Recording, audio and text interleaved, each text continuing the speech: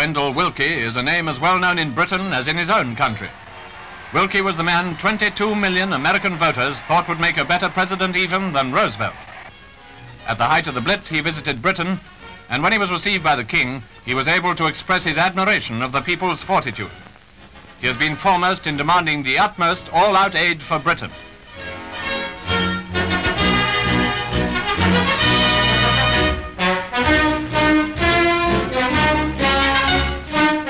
The film business has now succeeded in attracting Mr. Wilkie to its ranks. In his new capacity as chairman of 20th Century Fox, Britain finds another firm friend in a vital position of influence over American life and thought.